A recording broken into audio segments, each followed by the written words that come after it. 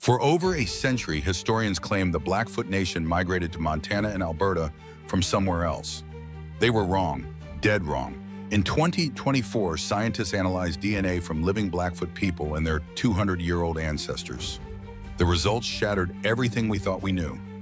The Blackfoot have lived there continuously for 18,000 years, since the Ice Age.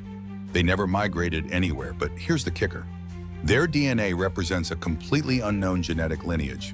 It split from all other Native American groups 18,000 years ago and stayed isolated for millennia. The Blackfoot are literally genetically unique. This wasn't some academic exercise.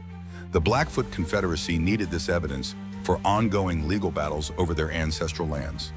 For generations, their oral traditions said they had always been there.